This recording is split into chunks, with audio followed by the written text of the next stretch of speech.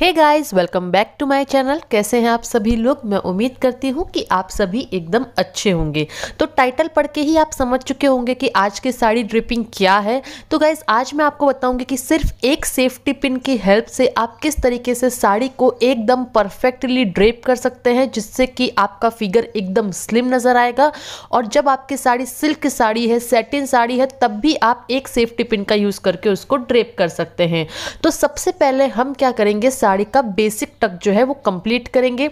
तो इसके लिए हमें साड़ी को ड्रेप करना स्टार्ट करना है।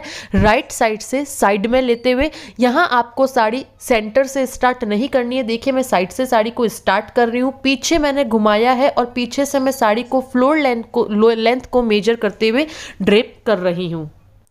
अगर आप हील्स वियर कर रही हैं तो सबसे पहले आप हील पहनिए, उसके बाद आप साड़ी का फ्लोर लेंथ मेजर कीजिए। अगर आप स्लीपर फ्लैट पहन रहे हैं तो आपको फ्लोर लेंथ ऐसे ही मेजर हो जाएगा साड़ी का। अब देखिए फ्रंट में लाके मैंने सेंटर तक साड़ी को टक किया है और उसके बाद मैं सारा साड़ी का फैब्रिक छोड़ रही हूँ और पल्लू तक मैं यहाँ पर पहुँच गई हूँ। इस पल्लू को मैंने पकड़ कर पीछे से घुमाया है और मैं इसे फ्रंट में लेके आ जाऊँगी। यानी आपको एक सर्कल पीछे से घुमाना है। अब फ्रंट में लाने के बाद आप पल्लू को पकड़ लीजिए। पल्लू के एक कॉर्नर को पकड़िए, क्योंकि यहाँ पर हम पल्लू की छोटी छोटी प्लेट्स बनाना स्टार्ट करेंगे। पहली प्लेट्स आपको थोड़ी सी चौड़ी रखनी है, बाकी जो पीछे की सारी प्लेट्स हैं वो पहली प्लेट के कंपैरिजन में थोड़ी सी छोटी छोटी रखनी है।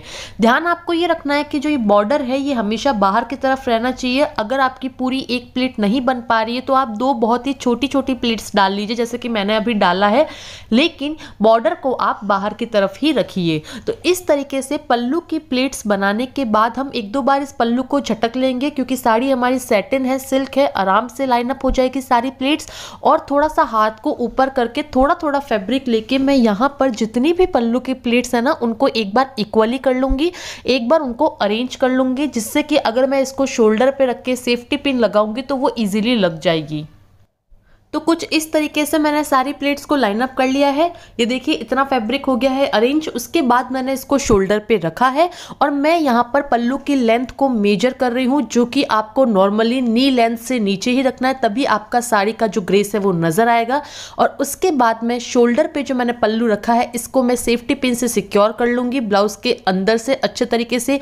यही एक सेफ्टी पिन है जो पूरी ड्रेपिंग में मैंने यूज़ किया है। इसके आगे हम कोई भी सेफ्टी पिन यूज़ नहीं करेंगे। अब जो हमने पल्लू बनाया है, इसके अंदर के साइड का जो बॉर्डर है, वो हम लेंगे और उसको हमने खींचते हुए जो फैब्रिक है, हम आगे की तरफ़ लेके आए देखिए, कमर की साइड में उस फैब्रिक को खींचते हुए लेके आई हूँ।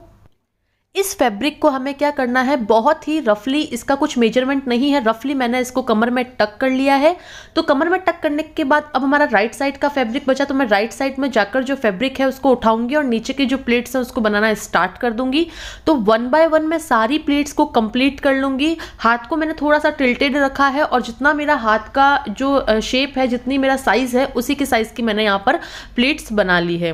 तो ये प्लीट्स हमें कहाँ तक बनानी है? जहाँ तक ये मेरी साड़ी जो टक की हुई है ना टक की हुई है, उतना जितना फैब्रिक बचा है, उसकी हम सारी प्लेट्स बना लेंगे। एक बार प्लेट्स जैसे ही बन जाती है तो जो टक किया हुआ फैब्रिक है, मैंने उसको वहाँ से हटा लिया है और हटाने के बाद मैं साड़ी का सबसे ऊपर वाला पॉइंट जो साड़ी का बॉर्डर है, उसको पकड़ के जो नीचे की प्लेट्स हैं, उनको एक बार रीअरेंज कर लूँगी इक्वली कर लूँगी और इक्वली करने के बाद मैंने एक दो बार रफली इसको झटक लिया है। झटकने से क्या होगा कि जो भी आपकी साड़ी है, उनकी प्लेट्स जो है, वो ऑटोमेटिकली लाइनअप हो जाएगी।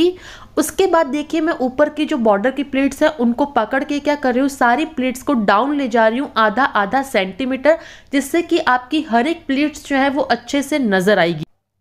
अब इन सारी प्लेट्स को आपको अपने नाभि के बेली बटन के जस्ट नीचे आपको टक करना है। तो हल्का सा मैंने जहाँ मुझे टक करना है, वहाँ मैंने थोड़ा सा रीअरेंज करके और नाभि के जस्ट नीचे मैंने टक कर लिया है। साइड के, दोनों साइड के फैब्रिक आपको इसके अंदर इंक्लूड नहीं करना है। सिर्फ़ जितनी प्लेट्स हमने लाइनअप की है, उसके बॉर्डर को पकड़ कर और हम इसको अच्छे से टक कर लेंगे।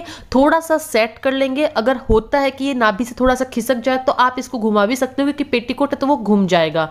अब देखिए राइट साइड साइड का फैब्रिक छुटा हुआ है और लेफ़्ट साइड का फैब्रिक दोनों ही आपके छूटे हुए हैं। इनका हमें क्या करना है कि जो राइट साइड से फैब्रिक आपका छूट गया है, यहाँ से आपको हाथ डालकर जो ये लेफ़्ट साइड है, यहाँ से आपको निकालना है। आपको मेरा हाथ नज़र आ रहा है। अब यहाँ पर जो ये लेफ़्ट साइड का फैब्रिक लूज पड़ा हुआ है, इसको आपको पकड़ना है, एकदम कसना है, खींचना है और इसे आपको राइट साइड में लेते हुए आना है। जितना आप खींच सको, उतना खींच लीजिए, जिससे कि आपकी जो कमर का लुक है, वो एकदम स्लिम लगेगा। तो देखिए, मैं इसको खींचते हुए राइट साइड में लेके आई हूँ और राइट साइड में लाकर मैं इसको क्या कर दूँगी? सिंपल सा टक कर दूँगी। तो अब आपकी ये साड़ी कहीं पे भी नहीं खिसकेगी। आप बैठो, आप डांस करो, कहीं नहीं हिलने वाली है। और जो ये राइट साइड का फैब्रिक आपको दिख रहा है ना, इसको मैं पीछे की तरफ़ ले जाते हुए टक कर लूँगी, क्योंकि ये फैब्रिक आपको नज़र नहीं आएगा। तो आप देख सकते हैं, जैसे ही मैंने ये फैब्रिक को टक किया है तो कितना टाइट फिटिंग का लुक आ रहा है स्लिम लुक नज़र आ रहा है। साड़ी एकदम फिटिंग की पहनी गई और सिर्फ़ हमने एक सेफ्टी पिन का यूज़ किया है। अब हम फाइनल टचअप दे देंगे, जो भी पल्लू की प्लेट्स है, नीचे की प्लेट्स है, उनको अच्छे से लाइनअप कर देंगे इक्वली रीअरेंज कर देंगे। तो यहाँ पर हमारा लुक जो है वो कंप्लीट होता है।